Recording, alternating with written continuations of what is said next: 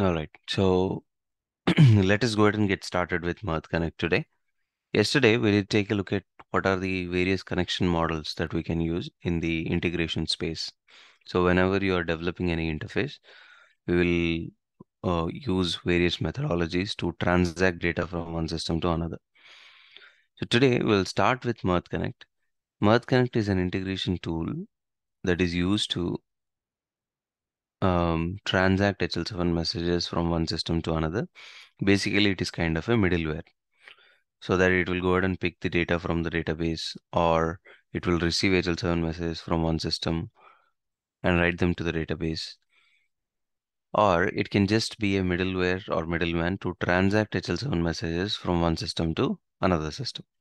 So it can do all those middleware works which is needed for uh, real-time HL7 interface implementations. So by the end of today's session, we'll see what is Mirth Connect, where do we use it. We'll uh, touch base on the architecture of Mirth Connect. We'll also look at various channel patterns and we'll also talk about how to install Mirth Connect. Okay. So let's get started with uh, Mirth Connect basic or the introduction to that. So as I just mentioned, Mirth Connect is an integration tool, same like uh, many other integration tools available out in the market. So there are many different integration engines out there. Uh, Mirth Connect is one of them. There are others like Rhapsody, Cloverleaf, CorePoint, Iguana, Integration Buddy, Data Connect. So there are many different different types of interface engines out there. Um, but Mirth stands out from all of them in one factor that it is a freeware and open source software. Okay. If you look at the other ones, uh, they are uh, like Rhapsody or CorePoint or Cloverleaf. All of these are uh, quite costly and uh, and they are not open source. You can't even get a free trial to experiment or to understand or to learn or anything as such. Whereas Mirth Connect is completely open source software, which you can go ahead and install if you want to add new features. Uh, you can go ahead and do that. And there are many other things that you can perform. Mirth Connect is acquired by NextGen back in 2016. And uh, since then, it is being promoted as NextGen Connect, but the name Mirth Connect is still there. So if you go to the website of NextGen and try to download or try to search for this software, it will still say that it is Mirth Connect. Okay, and uh, this all of these integration engines that I just mentioned are dedicatedly designed for healthcare data transactions. And Mirth Connect is also designed for the same purpose. But in case if you have any data which is not healthcare related, and if you know the concepts of how to transform the data or work with the data, then still you can use Mirth Connect. It's not necessary that you have to use only for healthcare related transactions and all. So being a middleware, it should support various data structures or various data models, right? So Mirth Connect does that purpose. Mirth Connect supports HL7 V2, V3 transactions. It supports DICOM, it supports X12 messages, which is used for used by payer industry. It supports XML, JSON, NCPDP, delimited text, and so on. So there are various data formats that are supported by Mirth Connect. Similarly, it being a middleware, it has to go ahead and transact the data from one system to another. So that's what we saw yesterday. So when it has to transact data from one system to another, it should support all the famous protocols that we have in today's industry to transact data from one system to another. So it supports all the type of connectors like TCP IP. It supports HTTP, file reader, file writer. It supports uh, sending out emails from Mirth Connect is also possible. It also supports JavaScript. So if you are a good JavaScript programmer, then you can write JavaScript code in source and destination or anywhere you need to perform various tasks. It supports FTP, SFTP, web services and databases and everything. Right? And then um, we have something called as enterprise extension. Uh, so enterprise extension in Mirth Connect is nothing but Mirth being a freeware, most of the features are free. But there are few features which are not present in the free open source software. So in case if you want those features, then you have to go ahead and purchase them. So there are various uh, purchase models or basically various plans like um, silver, gold, and platinum. You can go with any one of them based on your need. So there are various factors how they differ, but the basic thing is that there are few plugins that will be necessary.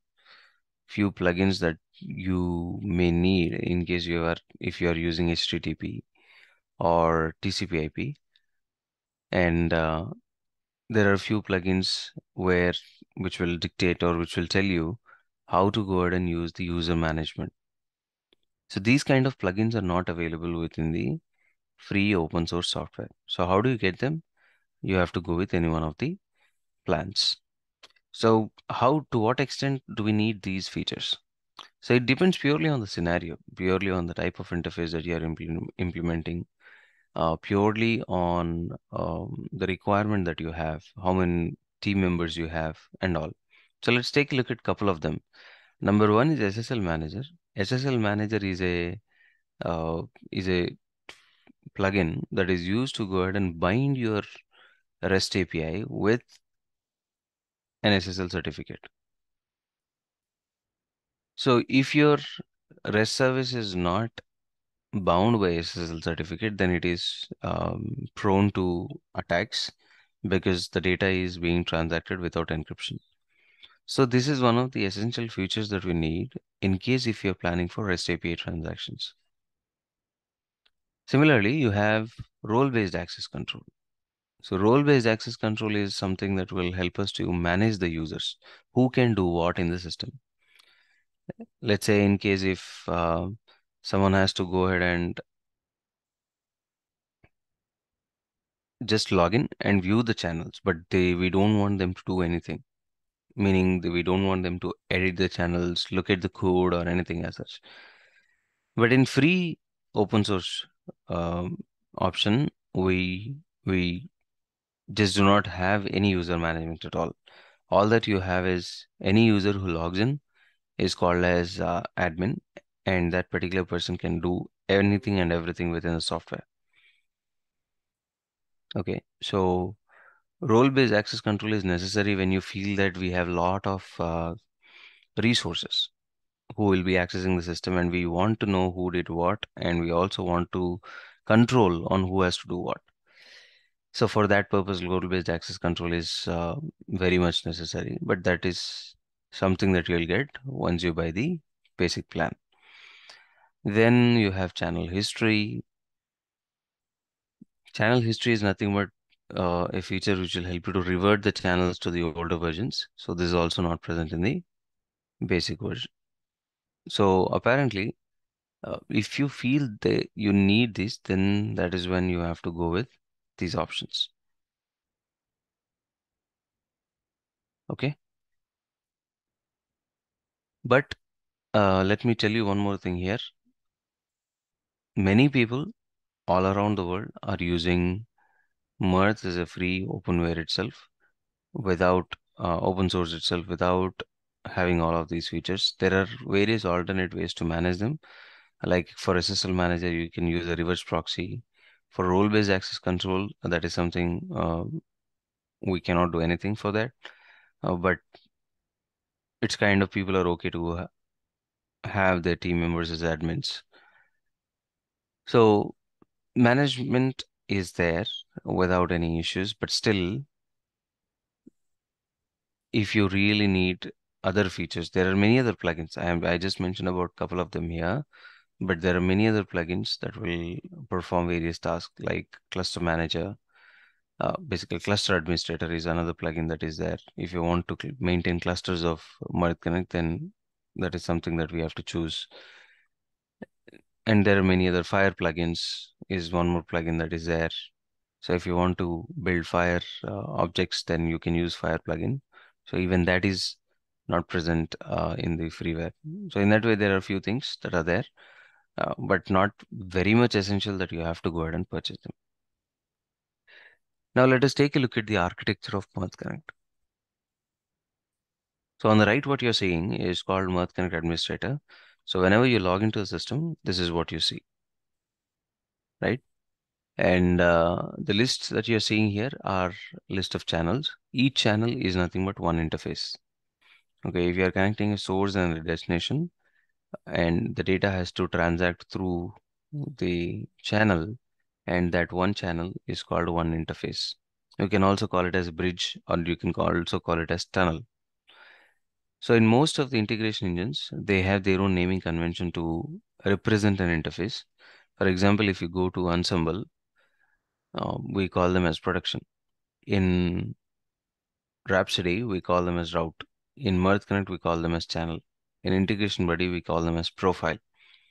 So the naming convention has been given based on the product, but at the end of the day, all of them are representing one single thing, which is nothing but um, which is nothing but a channel or which is nothing but an interface in general. Okay. So here we are seeing that we have list of interfaces, TCP IP source, multiple OBX to XML is one interface, test training TCP IP is another interface. So there are various interfaces that we can see here. Now, when we talk about each interface or each channel, so we'll be referring to channel going forward. When I when I say channel, I am referring to an interface. Okay. So if you talk about one channel's architecture, each channel contains four components. And you have these components as source, filters, transformers, and destinations. These are the four components that you will have for every channel. Source is the one where you will receive the data on and then pass it on to filters and then pass it on to transformers and then to destinations. One thing to keep in mind here is that source will always be only one source. We'll be receiving the data on one source for each channel. But in case, if you want to send that same message to multiple destinations, you can go ahead and do that. So in a channel, there is not just one destination possible. If you want to create more destinations, you can go ahead and create that. We'll see more on that later. But just to let you know that there is a possibility of having multiple destinations. I just mentioned that here. Okay, so let us go ahead and take a deeper look at this architecture, this design. So it is kind of a linear architecture. Messages will pass on from source to filters to transformers and to destinations. Okay, so the way we are going to take a look at is we will be zooming in to this particular scope and we will try to see how a message passes on or transacts through this particular channel. Okay, so we'll slowly, slowly zooming in and try to understand the features that we have at each point. Okay, so let's take a little deeper look. We'll be going deeper and deeper as and when we progress through the training. So first we'll take a look at high level of this channel architecture. So if you look at the channel, Mirth Connect channel, you can see that we have two components. Mirth Connect channel is divided into two sections. First one is source, second one is destination. So when the message arrives or when the data is being extracted, it will enter into the source connector or it will source connector will be the means to receive the data. Once source receives the data, it will pass on the data to source filters and validations and source transformers. So now if you observe in the earlier slide, I mentioned that every channel has four components, source, filters, transformers, and destination. Now, if you look at this one, we are seeing that source has its own dedicated filters and transformers. And once all of those components are completed, then it will enter into the destination side of it. On the destination side, you can see that destination has its own filters and transformers. And once all the filters and transformers are completed, logics are executed, then destination will deliver the message to the required destination. Okay, so that is the flow. Another important point here is that whenever we are playing with the message in filters and transformers, either on source side or on the destination side, we'll be using three different uh, technologies.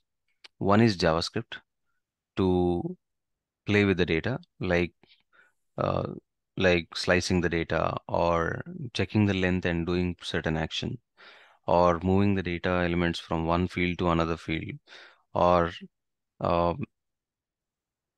forming an JSON object from an HL7 message. So in this way, there are many different things that you can do within Mirth Connect transformer. All right. So in order to do them, you will need JavaScript. Second thing that we need to know is we'll be using E4X and XML. When the data is present in these source filters and transformers, it is present in the form of XML object. Why and all, we'll see that later, uh, but it will be present in the form of an XML object. So we need E4X. E4X is ECMAScript for XML. It is a methodology which is used by JavaScript to access XML objects. Okay, so if you are new to it, don't worry. We are going to look at them from the basics. We'll see what is XML. We'll understand what is XML object. We'll see what is E4X. Why do we use E4X? We'll have some examples to understand how we can use them. And obviously, I'm going to teach JavaScript from basics. Not completely JavaScript, but the topics that are essential for our Mirth integrations. Next, let us take a look at uh, various channel patterns that we can create in Mirth Connect. Okay, so Mirth Connect as a channel uh, can be created in many different ways. So here are a few ways. So let's talk about each one of them. So before we jump into the channel patterns, any questions from anyone?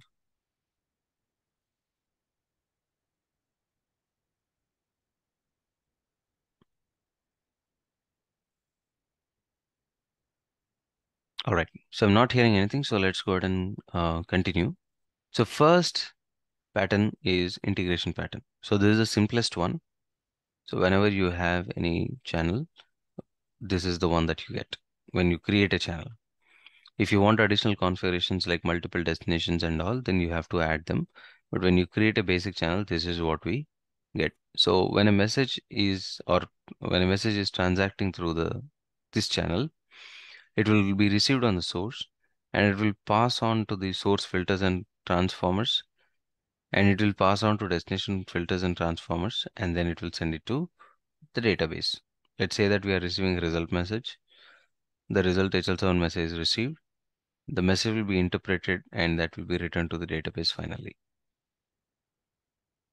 Next, we have broadcast. So as the name itself suggests, it is going to broadcast the one single message to multiple destinations. So let's take a scenario. Let's say that we have a uh, we have a PM system and multiple EHR systems, not just one EHR, but multiple EHR systems. PM will go and try to send a message, which is nothing but a demographic message or a patient registration message. As soon as the message is registered, it will be received by the integration engine and it will pass on to source filters and transformers. The basic default nature of Mirth Connect is that once the source transformer is completed, if there are multiple destinations, then the same message will be replicated to all the destinations that we have. Okay, so in this scenario, you can see that we have three different destinations, each one representing one EHR system. Okay, so in our example that we were considering, an ADT demographic message is received, and as soon as it is received, the same demographic message will be duplicated or replicated and will be sent to all the three destinations.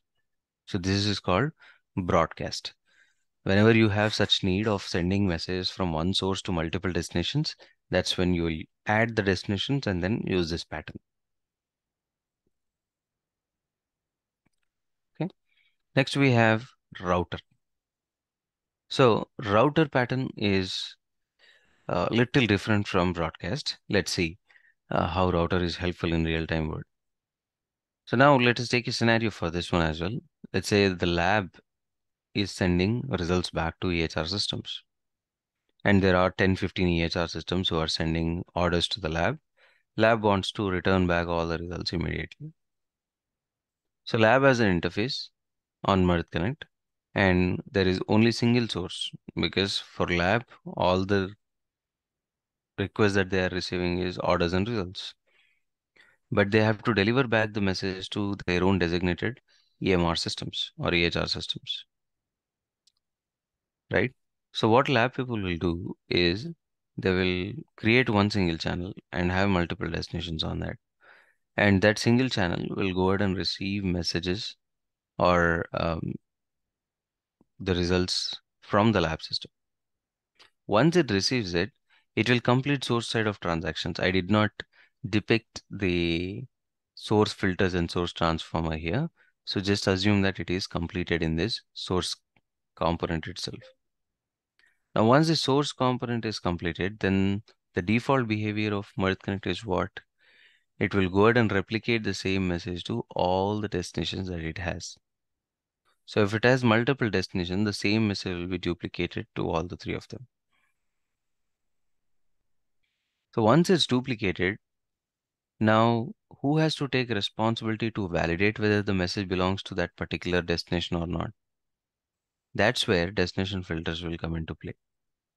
So here, there will be some logics which will, which will tell you whether the message has to pass or get filtered.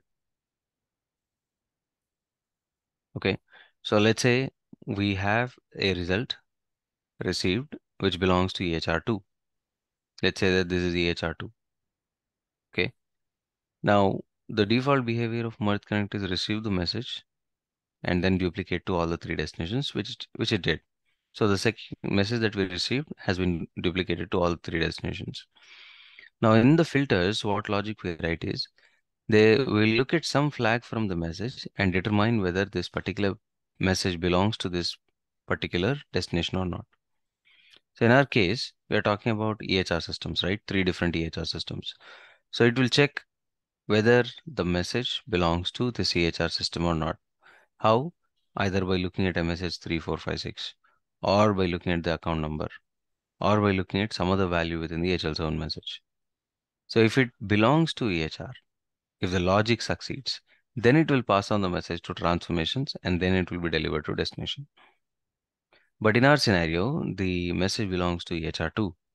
So the message will come in and in this uh, destination transformer logic, it will fail, right? So it will get filtered. Now in the second channel, it will succeed because the message was successful um, and belongs to this particular destination. So it will pass on the message to destination transformers and from there it will be written to the database. Then you have the third destination. Same message will be sent to third destination as well, right?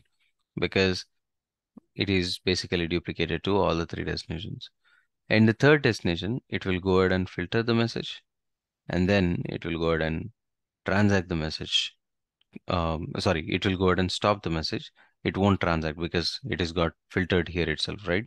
So destination transform will not receive anything and situation will be the same. Um, there will be no change. So that's how the router model will help us to go ahead and filter the message and route the message accordingly.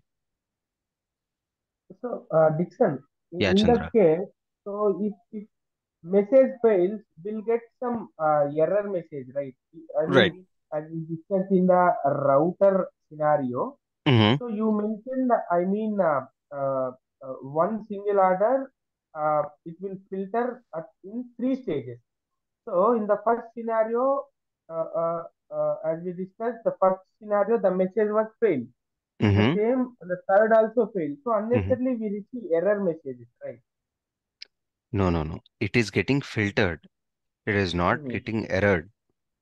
Filtered is different, errored is different. Okay. Error is System nothing. not throw any messages. No, no. It will it Okay. will it will show up that Mhm. message has been routed to three destinations. In destination one and destination three, it got filtered. It will show you the status that it is filtered. And in Mhm. destination two, it will be sent, it will be showing as sent successful. Okay. Got it. Got it. Yeah. All right. Any other questions from anyone? I heard someone else talking as well.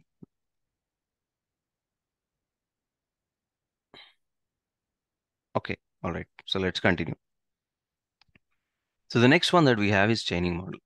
So in chaining model, you can connect one or more channels together and form a chain of channels. Okay, so let's see how that works. So let's say you have a requirement where a message is result message is received from lab. So hospital is receiving them. Obviously, hospital has to write the data to the EHR database. That is common. But alongside, they also want to generate a PDF file along with that particular message. Then they can go ahead and take this approach of having chain of channels. So what happens in chain of channels is you may have two destinations or one single destination. Anything is fine. But the destination will be pointing to another channel altogether within the same Mirth server instance. When I say another channel, it doesn't mean that you have two different servers. There will be channel or another server and you will not be able to connect to that. I'm talking about the channel within the same server instance. So this channel will go ahead and receive the data from the previous channel and it will have its own dedicated work to do with that particular message. So in this use case that we are talking about, a result message will arrive onto the source and they will pass on through filters, transformers, and they will say they will be sent to destination. So when we talk about destination, we have two destinations here. So first destination, it will write the data to the database. Second destination will route the message or send the message to another channel altogether, which is called as uh, the secondary channel, let's say that, or PDF channel, let's say that. And it will receive the message, it will pass it on to filters and transformers, and then write the data to any other folder by generating all of those PDF files for each result. Okay. So in this way, we can go ahead and create many kind of channel patterns or channel um, chaining mechanisms. It purely depends on your business requirement. Now, many ask me a question, which pattern we have to follow. There is no steadfast rule that you have to follow this pattern. Depending on the requirement that you have, depending on the interfaces that you are going to develop, we may be choosing any one of these uh, patterns. Okay, and these are just common patterns that I am showing. It's not a rule that only these patterns have to be uh, followed or these has to be taken into consideration while developing an interface. Then how will we get to know which is the best approach? So it, it comes through experience. As in when you develop the interfaces and progress with the uh, development part of it, learn more about it, slowly you will understand what are the important things that you have to keep in mind while designing the interfaces. So first part that we do while when we get an interface is uh, to go ahead and design that uh, interface. So during that design discussion, we'll clearly discuss on what approach we need to have. And this is something that will be done at architects level. So if you're a new developer or uh, intermediate developer, then we don't need to worry much about this point uh, at uh, at the moment. You can follow whatever architectures that you get. But slowly, as you develop, at least for one year, you will get a fair idea on what is the best approach to create an interface. Okay. So next, let us take a look at um, the Mirth Connect application itself. So we also have one other concept like the looking at the message flow in Mirth Connect. So this is something that we will take a look at in the upcoming uh, days or upcoming course. We are definitely going to take a look at the message flow at that point. At this moment, we don't need that because we don't know how application will look like, how the message would travel through the application and all. So we are going to take a look at that at that point of time. So let me bring up Mirth Connect and then we will go through the actual application itself. So here you can see that as soon as you log in, this is the screen that you get. So this is called as Mirth Connect Administrator. So whenever you log in, there are three different components that you will get with Mirth Connect. One, Mirth Connect Administrator. Second one is Mirth Connect Server Manager. Third one is Mirth Connect Administrator Launcher. These are the three pieces that you will get whenever you install Mirth Connect. Let's see what is the use of them, right? Uh, we will understand, try to understand each one of them one by one. But first, we will take a look at administrator. So Mirth Connect administrator will help us to go ahead and work, or this is our client facing application, you can say, where you'll have, uh, you'll be able to manage your interfaces, track your interface messages, and do a lot of things. So the first screen that you will hit is dashboard window. So in the dashboard screen, you can see that we have uh, this upper half of the section, which is going to show you all the channels that are actively running. Right now it is blank, which means there is no active channel that is running. So let me bring up a couple of channels just for you to show. So let's deploy this one, this one, this one. Let's deploy these three channels. All right. So as you can see, there are three interfaces that are running. One is JS, uh, CSV to JSON convertible, which means it is going to convert a JS, CSV uh, object into a JSON object. Next, you have HL7 message to EHR database. So this channel is going to receive HL7 messages and write them to the EHR database. And this is some uh, basic JavaScript testing about the switch case on how it is working, what we can do with that and all. But at the end of the day, the administrator will tell you what are the active channels that are running within the system. So at any point, you can go ahead and take a look at them and understand whether the messages are transacting through that or not. And you have few columns here, right? You have status, you have revisions, you have last deployed. So let's understand about each one of these uh, columns. We'll come back to the status column in a bit. Let's complete this side here. So last deployed will indicate when exactly the channel got activated. So deployed is nothing but activating a channel. Okay. So this is the term that we'll be using entirely through the course and through the training as well. Whenever I say deploy, it means that we are talking about activating a channel. Okay, just keep that in mind. So last deploy date and time will tell you when exactly it got activated.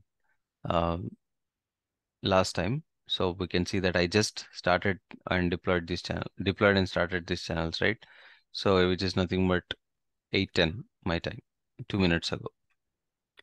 Next, you have a few statistics here. These statistics, these statistics will help you to go ahead and count or track the number of messages that are transacting through the interfaces. Okay. So if you see we have 716 messages.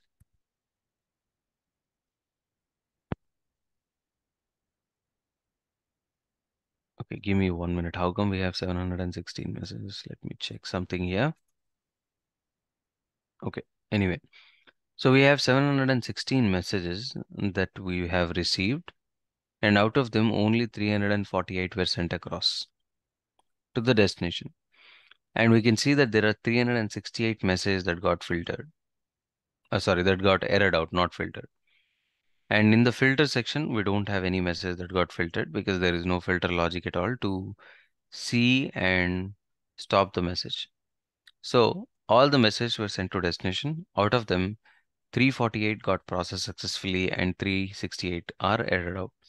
So this will help us to track down the number of requests that we are receiving or number of HL7 messages that we are receiving and transacting them to the destination system. Okay, so statistics are very, very helpful. Queued is nothing but you can queue a message in case if the destination is not reachable. So we'll talk more about queuing when we build a channel for TCP IP related uh, interface. And finally, you have connection. It will tell you whether you are connected to source or destination. Just an additional information there. Next, you have status. So this is important.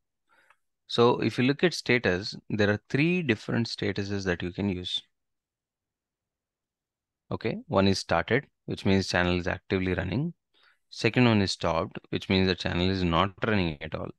Third one is um, paused, which means only one of the components is stopped. What do I mean by one of the components? Let's take a little deeper look at this channel. When we were looking at the architecture of the channel, I told you that every channel has two components, source and destination, right? Let us go ahead and see how to find them. So if you see this channel CSV to JSON override, and click on this plus symbol, you can see that we have two components in the channel. Always remember every channel has these two components. They are two separate components which will operate individually, but still execute together always. Okay. So we have two components here, source and destination. So that is how we determine uh, how many destinations we have. If you have more number of destinations, let me see if you have an example right now, not in one of these channels, but if you have more number of destinations, then it will show all of those destinations here in the channel, indicating what are the essential uh, components that we have as part of a channel. So when I say paused, it means that I am indicating that only source side of the interface is paused. Let's see that. So first I'll stop the channel. You can right click and click on stop. That is one option. Or if you, even if you select a certain channel on the left hand side, you have the same options what you get when you right click. So I'll right click, I will stop. So the interface is stopped, right? You can see that it is stopped. CSV to JSON converter wheel is not running. Now, if I want to go ahead and start the channel, I can go ahead and start. Okay, so the channel got started. Now there is another third option that I said, which is nothing but pause. So if you observe what happened during the pause. So during the pause, we have stopped the source side of the channel, which means source connect source component is completely halted. Destination is still running, so it will do its work continuously without any halt. But source will not be ready to receive any more new messages because source component is completely stopped. So what do I mean by that? When do we need this particular scenario? Especially during testing, we don't want to receive any message from source, for example. Let's say you are connected to the database and database uh, is continuously uh, having data. And when your channel is pulling the data from database, it is continuously getting the data and it is not allowing you to test manually. So what you can do, you can pause the channel so that it won't pick up source size data anymore. You can go ahead and provide your data manually and test it through the channel. This is one mechanism, right? Or one use, not mechanism, but or one use of having uh, paused the channel. So next uh, we have is, let's say we have received hundreds of messages all at once into Mirth Connect. So Mirth Connect is a tool, but it will also take time to process one message each, right? At least a milliseconds. So if you receive 10,000 messages at once, then what will happen? So how will Mirth handle that? So Mirth will keep on processing all the messages. It will try to keep up the speed. But what if we are receiving 10,000 messages in a minute? Then in that case, the administrator or the interface implementer will take a call and say that let's stop the channel on the source side and let us pass the messages on the destination side first, even before releasing or receiving more number of messages. Okay. So that is another scenario where you can think how you can make use of pause. So basically it will represent that the source component is stopped. So those are the three representations of the statuses. And down here you have the server log. So there are three tabs here, server log, connections, globals. Server log will tell you any log information that you're writing during the code or if anything is going wrong within the channel. This server log will help us to uh, provide the errors from technical perspective. So in case if you have to troubleshoot if some channel is not sending any message, so you may definitely have an error here, which you may try to pull out. So if you see this error, let's uh, pull it out. And see what that error says.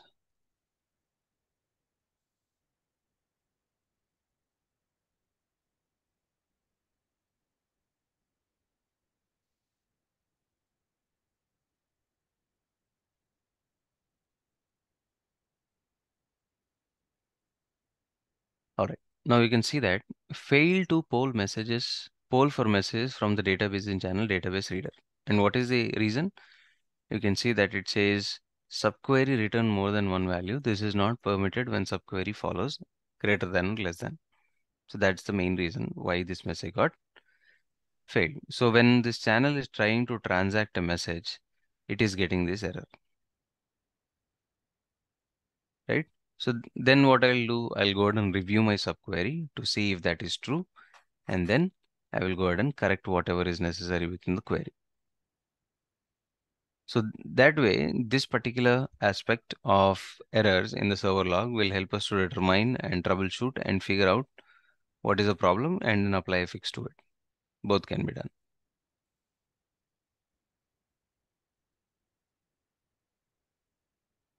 Okay. Then let us go back to connection logs. So in connection logs, you will be able to see whether the source and destinations are connecting, whether the channel is running or not, whether the channel is functional or not. So every channel, you can choose that channel and it will show what happened with that channel in the last few minutes. So connection log, by looking at that, we can clearly determine whether the connections are working or not. Then you have global maps. Global maps are global variables. So we'll talk about this one when we get into the concept of variables, channel map variables, and all in Mirth Connect. Okay. So dashboard is always used to go ahead and show up the main channels that are actively running. And on the left hand side, you have channel management tasks. So if you select a certain channel, if you want to start that channel, you can do it from here, stop that channel. Undeploy is nothing but deactivating the channel. Okay. You see that that is gone away. The channel is not present anymore. Right. Uh, we will talk in future about send message, view message, and remove all. Uh, when we actually get to processing the messages, that is when we'll go ahead and get started with them. So that being said, this is one of the components that we get when we are installing Mirth Connect. The second one that we get is Mirth Connect Server Manager. Okay, so you can just go to Start Mirth Connect Server Manager. You can click on that. Sorry, I clicked on Mirth Connect Server. We need to click on Mirth Connect Server Manager. So once you click on Mirth Connect Server Manager, in the system tray in the bottom right corner, you will see that there is an option to click on an icon called M. So let me share my screen that is showing up on my primary window. So let me show that. Can you guys see my screen, the primary window? Yes. Okay. So here, if you see this one here, you can see that we have Mirth Connect. And if you double click on that, it will open a console like this called Mirth Connect Server Manager. So let's see what options we have therein with Mirth Connect Server Manager.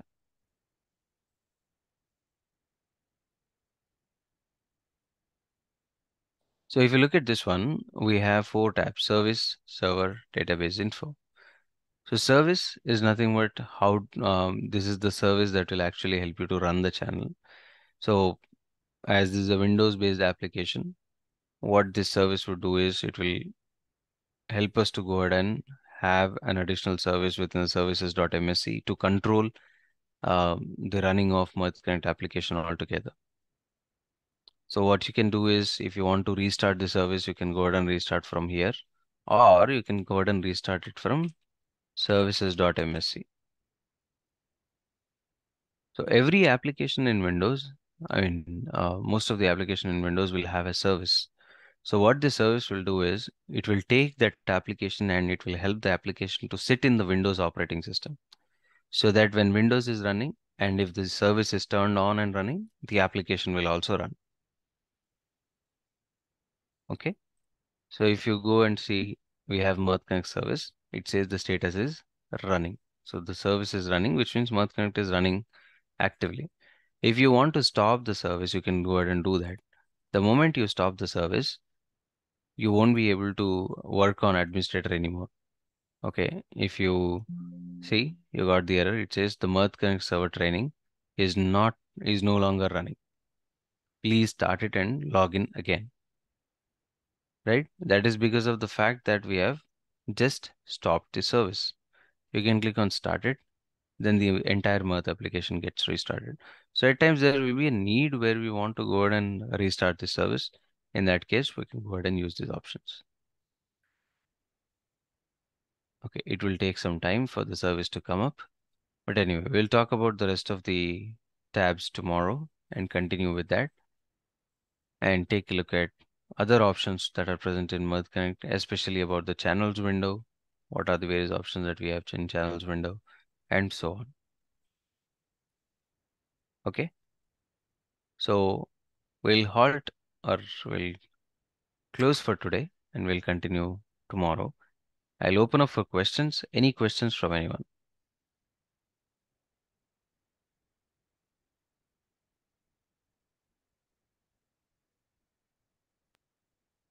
Dixon, uh, what is the latest version of uh, this Connect? Uh, it's uh, 4.2, I guess. Um, so I will show you the installation part tomorrow. But yeah, I think it's 4.2. That is the latest. Let's see. Give me one second. So if you want to see the latest one, all that you can do is uh, go to Mirth Connect installation. It will take you to the NextGen website where you can download the installs. And here you can see that which version you have. We have 4.1.1, not 4.2. That's the latest one that we have. Okay, but if you want to go to archives, you can go to archives and download older versions as well, just in case if you need any of them.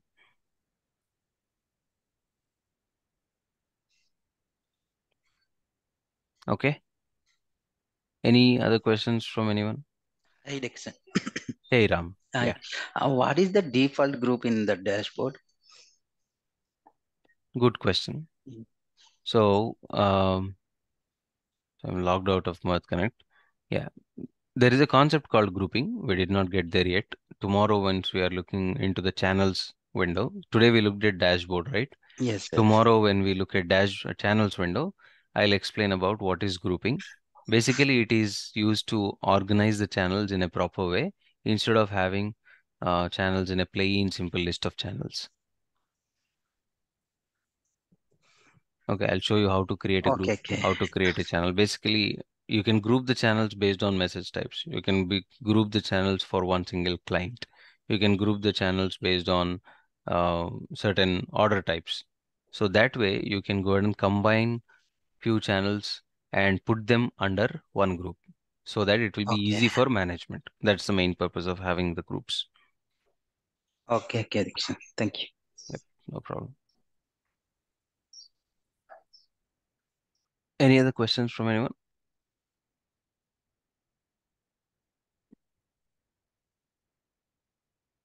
All right, I'm not hearing anything. So let us go ahead and conclude today's session here. We'll continue tomorrow and take a look at um, the other aspects of channels window. We'll also talk about the server manager. We'll also talk about Mirth Connect Administrator Launcher, why it is used and all. And we'll also see the installation process. All right, guys. Thank you, everyone. You all have a very good day.